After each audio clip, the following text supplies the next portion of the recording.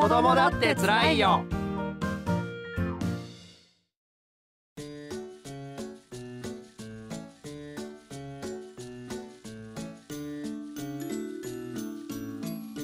うん。ああわあ寒っ。ん。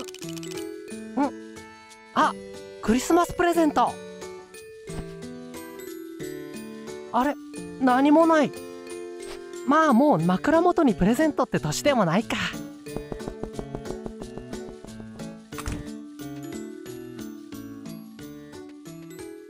ん？どこだ？プレゼントは？ケイトおはよう。あおかん。プレゼントのラスラン3は？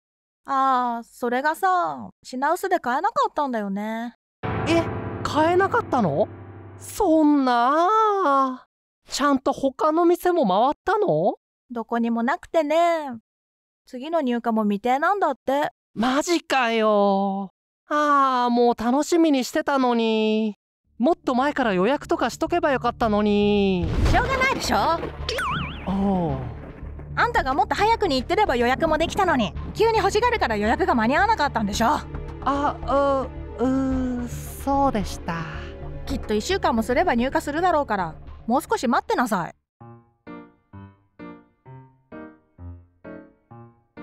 はあ1週間か冬休みにじっくりやろうと思ってたのにな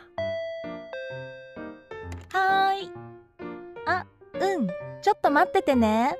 ケイト、軒下くん。軒下？おお軒下どうした？渡部ラスラン3変えたか？えいや品薄で買えなかったらしい。軒下は？もちろん俺もだ。やっぱりか。冬休みにがっつりやるつもりが。入荷待ちか。俺は今から探しに行こうと思う。何としてでも今日手に入れたい。えー、どうやって？親父の車で探しに行く。な親父。おおうわここんにちは渡部も一緒に行くか？一緒に？えでもどうしよう。行ってきなさい。木下さん、いいんですか？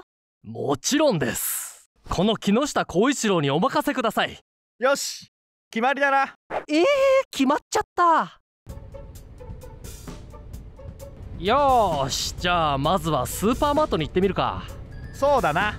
まずは一番メジャーなところからだなスーパーマートにはないだろうけど。まあ最初だし近いしね。そう文句絵だって最初はプリンでレベル上げするからな。スーパーマートは俺たちにとってのプリンみたいなもんだ。あーなるほど。あじゃあ北栄は？タマゴーストとか？おおそうだな。北栄はそんなもんだろうな。じゃあミニショップは？メタルプリンじゃない？レアモンスターだから。確かにもしあそこに売ってたら奇跡だもんな。じゃあ駅前通りのおもちゃのハローズは何だろあれは魔王バトラスじゃない？大本命だからな。うおお車の中で期待に胸を膨らませる2人。果たしてラスラン3は手に入るのか？パート2へ続く